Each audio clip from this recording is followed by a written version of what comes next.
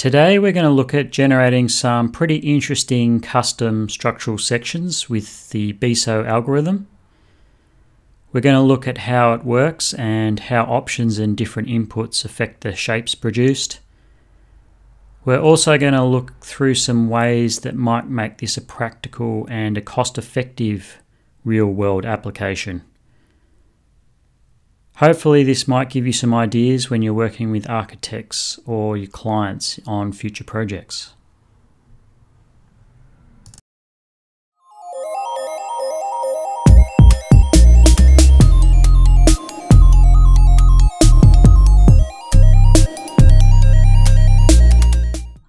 You can see some of the way this works by looking at this stress plot on this simple beam we have here with red being compression and blue being tension.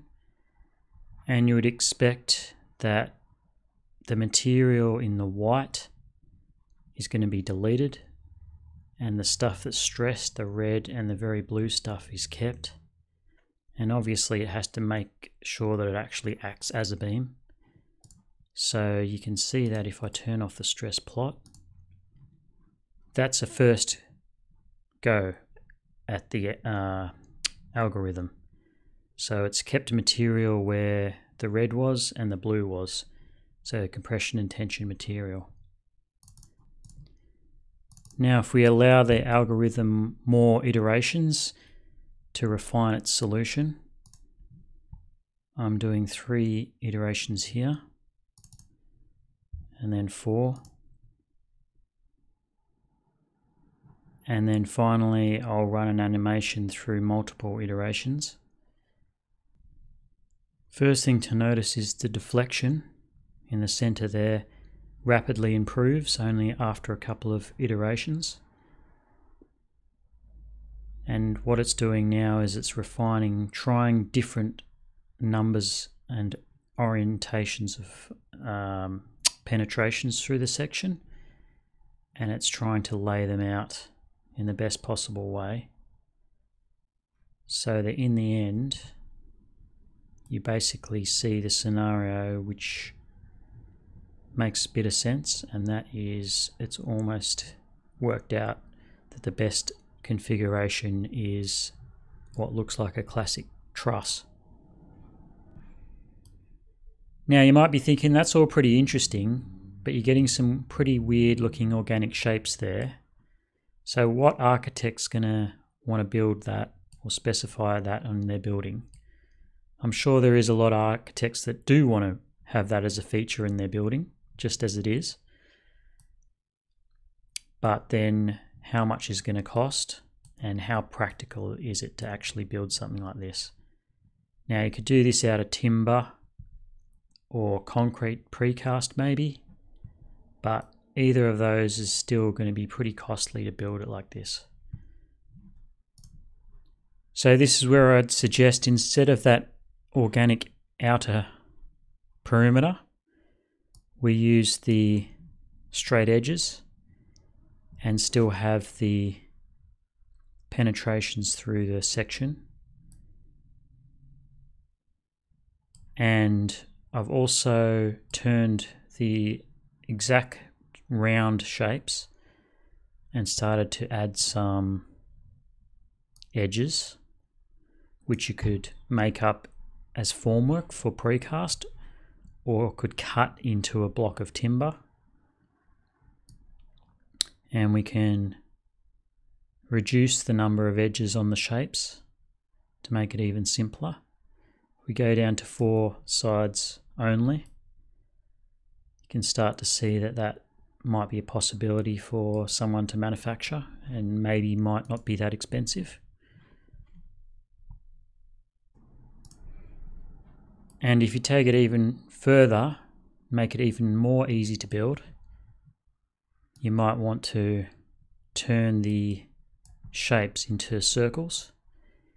And if this was a piece of timber, you would just have to bore a hole in it in those locations or if it was precast concrete, you could just get a round piece of precast with lagging around it or something like that uh, as formwork and then just cast that as a block and that will be your beam. And I don't think that would be very expensive.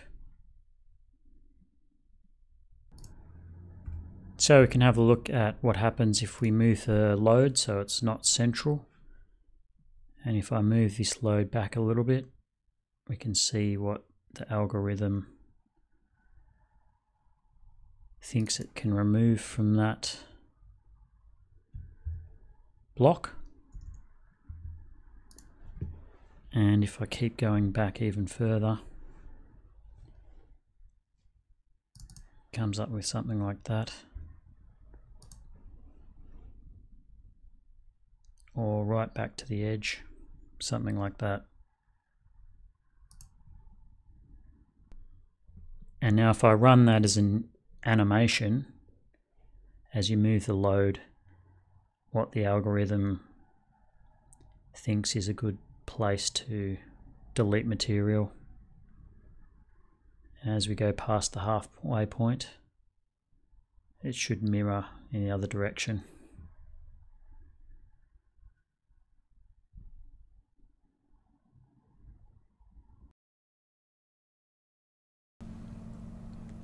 And here we're running through a cantilever fixed to the block on the left hand side. And as we extend the cantilever, we keep the load on the very tip. And the algorithm's trying to work out what material it can delete with keeping the strength as much as possible. Interestingly, at the end there, it's actually deleting the top chord but it's got a little nib pointing to resist the load. And here's a more practical version of that where we're just deleting the material inside an existing block so that's more practical to build.